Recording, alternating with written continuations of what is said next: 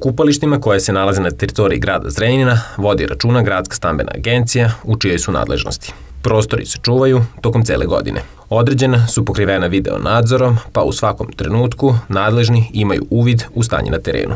Ove godine očekuju nas određene promene. Ovo nam je treća sezona e, gde spremamo kupališnu sezonu i e, poučeni nekim iskustvom e, došli smo do toga da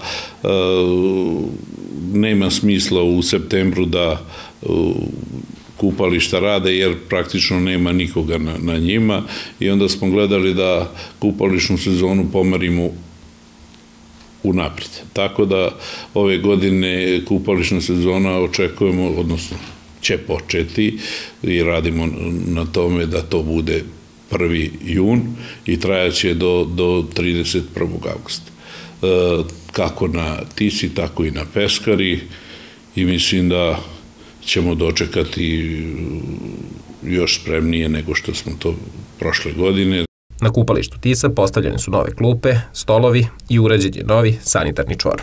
Sportski tereni su potpuno obnovljeni. Talpa je prošle godine potpuno završena. Lokali su izdati na svim kupalištima. Kao i svake godine doneće se dodatna količina peska, uredit će se, mislimo da će biti ove godine nadamo se samo bolje vremenu nego što je bila prošla godina, ali i sami znate da smo proširili plažu, plažu prošle godine. Gledamo da, ajde kažemo, sa ovog aspekta, ajde kažemo da povećamo neki broj dešavanja, znači zajedno sa turističkom pokušavamo i sa organizacijom mladih da, da prave neke događaje na, na, na peskari, e, da li će, pošto smo sad, ajde, tribine završili, e, verovatno će biti turnir u futbalu na pesku, pa bit će odbojka na pesku, bit će, tako da e, neki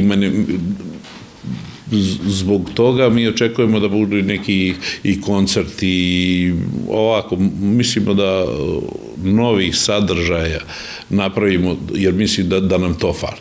Ulaz na kupališta Peskara i Tisa i dalje će biti besplatan.